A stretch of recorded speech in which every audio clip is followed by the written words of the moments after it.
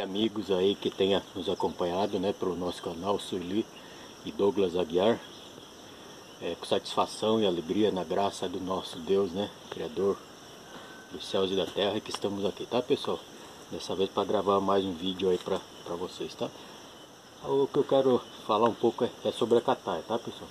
O pessoal tem comprado aí as minhas, minhas cataias é, e muitos, antes de comprar, perguntam né, se dá para eu mantê-las no vaso, né?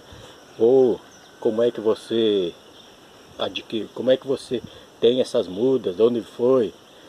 Eu falo, né? Eu tenho as minhas matrizes, tá bom pessoal? Ó, tem as minhas matrizes, tá? Elas estão com, com fruta, né? Então, e ó, eu tenho, ó, todas, todas essas mudinhas, ó, são de semente, tá pessoal? São de sementes aí que eu tenho, tá? Então aqui, ó. ó aqui eu tenho essa, essa muda aqui. Essa muda aqui, pessoal. É, tá, vocês vão ficar pasmados, né? Eu acho que sim, que como eu também fico. Mas essa muda aqui, ela tá indo já para um ano, tá, pessoal? Então até esse processo aqui, período de um ano, ela tem um desenvolvimento lento, tá? Mas a partir de um ano, ela já começa, ó, essa aqui já está com dois anos, tá pessoal? Então, ó, essa aqui é a faixa de um ano, essa aqui é a faixa de dois anos. Ó. E daqui para frente de, de dois para cima, de, de, de, de três para cima, tá? Então qual que é a, a função? O, a ideia aqui, que muitos perguntam se dá para eu mantê-las no vaso, né? Ó, essa aqui, por exemplo, eu tenho no vaso. Bom pessoal, então a gente consegue aí, né, com a muda de qualidade, né, se você adquirir aí uma muda de qualidade, o que você vai ter daqui uns 3 anos é uma muda como essa aqui, pessoal, tá? É o que a gente tem aqui na nossa, na nossa página Ilha Verde, aí, tá? No nosso, aqui na minha propriedade, né? Então, ó, aqui, ó, no vasinho, tá vendo?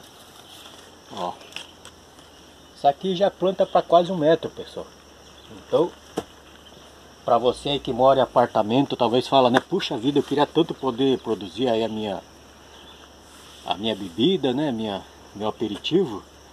Mas eu mesmo queria fazer, né? E, e eu não tenho, não tenho um quintal, não tenho um terreno, não tenho uma área espaçosa para tê-los. Né? Não precisa. Você com um pouco de cuidado, você consegue ter, ó. Olha aqui, ó. Um vasinho, né? Dá o que 20 por 20 o máximo aqui? E ela tá aqui ó pessoal. Desde que eu mudei ela para cá uns cerca de uns dois anos ela está aqui. Olha como se desenvolveu ó. olha aqui no saquinho pessoal essa aqui também ó. Né? então esse aqui já tem uns três anos também né? E aqui eu já posso se eu quiser já posso coletar folhas né? Assim como você também aí tá pessoal?